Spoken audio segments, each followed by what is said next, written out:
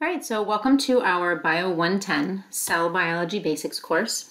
This is for fall of 2020. You can see that we are meeting, it's a late start class starting on 9-21, September 21st, and it goes all the way to the end of the semester, December 18th. Uh, my name is Professor Hubbard or Brandis Hubbard. My email is there at bahubbard at sc4.edu. Uh, I do put that there so that um, perhaps that's easier to remember to access. However, uh, as we move a little bit further down here, I actually prefer that you email me through the Canvas app. Um, so rather than just going to your personal email or your SC4 email, it shouldn't be your personal email anyway, but um, your SC4 email that you, and then typing that in and sending it to me, what I prefer is that you go through the Canvas app. Uh, and that's because Canvas actually just keeps um, all of the emails and all the communications and everything having to do with each student kind of in its own section. And so it'll be easier for us to find emails if we need to go back and reference them or, or get certain things from them um, if you send it through Canvas. So it's just a little bit more of an organization tool. Uh, my office location, um, I will be doing my conference hours, which I'll talk about in just a moment, um, online via email, and I can also do Skype if that is preferred. Um, my on campus hours, I don't have any on campus hours this semester, um, but if you do need to meet, um, prefer to meet, um, my office is CEM 206, and we may or may not stay in that office while we're doing the office hours, depending on what's available as far as social distancing.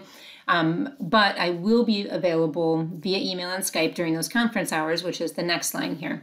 Um, online from Wednesdays or on Wednesdays from 12 p.m. until 2 p.m., so noon to 2 and then on Sundays in the evening uh, from 6 to 8 p.m.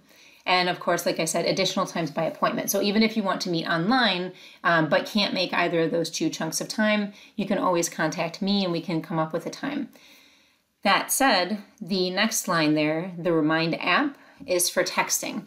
Um, and I am nearly always available for texting. Of course, there are exceptions, sleep times and such, um, and sometimes I am unavailable. But you do not have to wait for my office hours in order to contact me.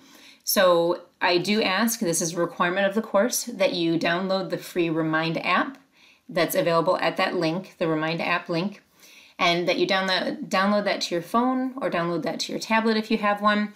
Uh, you can also just download it to your computer. So whatever you have available to you, I recommend that you put it on that.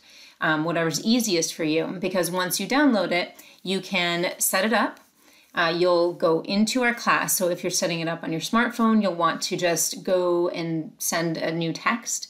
If you send, so you need to download the app first on your phone. Then you can send a text to 81010. So that would be like the telephone number.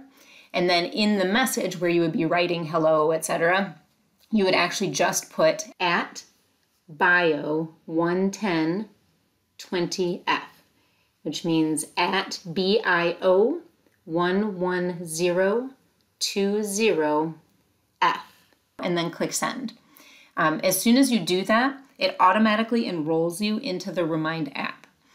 Now, the way the Remind app works is that on your phone, you can go to the Remind app and then you can text me or you can text other students in the class.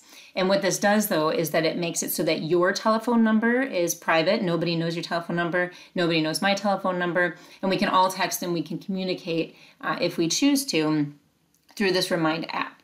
Um, so I am available through Remind. Um, that's kind of skipping down to the contacting me piece. I am available uh, via text, via Remind or email. Those are the two best ways to get in touch with me outside of class or outside of my conference hours. And even in my conference hours, because this semester I'll be fully online, um, emailing me and texting me during those periods is when you'll be able to get a hold of me quickest. So you can text me using the Remind app, excuse me, um, or you can email me via Canvas. And I do check my phone multiple times a day, and I usually respond within 24, 48 hours, um, except possibly weekends if, if I am out of town or um, you know where i don't have service or something like that it may take me a little bit longer but oftentimes i get back to people fairly quickly. So um, i do recommend that you don't wait for the office hours. Of course you know if you want more one-on-one you know non-distracted time maybe that's a good option. Um, but as you're studying and as you're working through the material as you come across something and as you try to research it and look up the answer if you're still unsure and you want to contact me feel free to do that in that moment while you're working on it while it's fresh in your brain and, and while you're going through the assignment or whatever it is. So um, um, I would prefer that so that I can be available to you so that it's it's right there at your fingertips. Otherwise, um, if it's a question that can wait or is course related or something doesn't need an immediate answer, uh, there are also my online conference hours. You can text me or email me at that time.